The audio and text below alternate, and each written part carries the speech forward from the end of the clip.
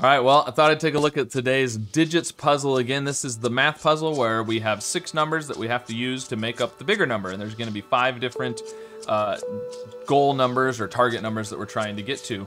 And we're trying to get all five of them to get all 15 stars. So, 65, uh, I mean, well, it's obviously two times three, which is six times 10, add five. And I'm just now remembering that some people have told me if I go in the settings, chain mode. There we go. If I turn on chain mode, now once I do, uh, you know, if I do like two times three equals six, the six is gonna be already highlighted, so. All right, um, 159, this is a multiple of three. It would be 53 times nine, or 50, 53 times three, in fact. Um, we can get 53, but that uses the three. Two times 25 plus three would do it then we're using the three, and I'm not sure that's gonna be a good way to do it. Okay, so, um, let's see, 25 times six is 150. Oh, well that's what we do. Two times three. Oh, and see now I'm used to the other way. 150 plus nine. There you go. Easy, easy. I was trying to make it more complicated than it was. All right, 294, again, multiple of three. Um, not a multiple of nine. Is it a multiple of six? It is a multiple of six. Because if it's a multiple of three and it's even, then it's a multiple of six. So this would be uh, 49 times six. Can we get 49 somehow?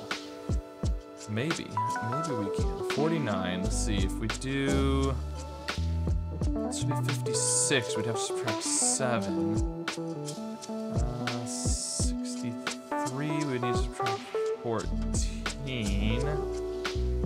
Almost. 36, we would need to add 13. These two make 32. Hmm. So, it's 49 times 6, but I'm not sure how to get to 49. Oh, Oh, no, that's 39. Oh, shoot. I was gonna say if we add all the other five together, we get 49, but we don't, we get 39. If you do four plus eight, plus nine, plus 11, plus seven, you get 39. But we need 49 times six, right? Yeah, yeah. That's close, that's close. Uh, 4 times 7 is 28. We would need another 21.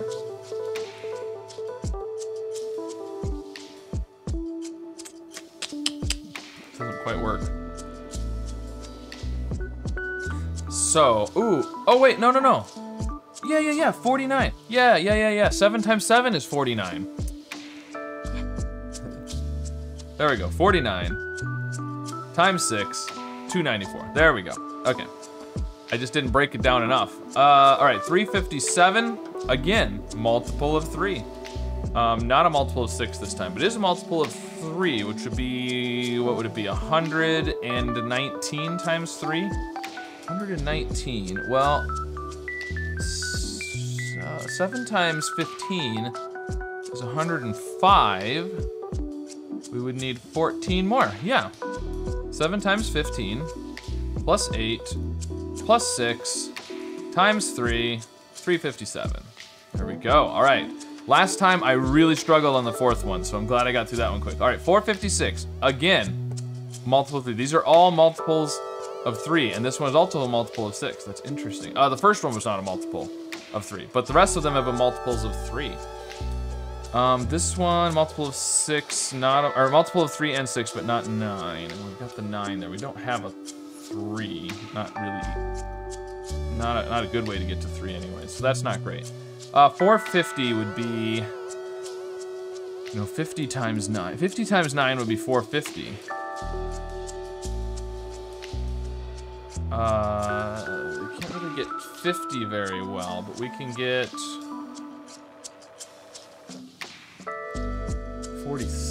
46. That's not great.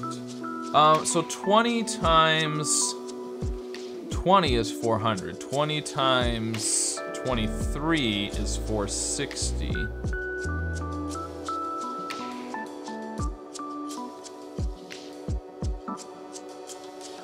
How about 20 times 22? We can do 22 pretty easily. It's 440. Then we need 16.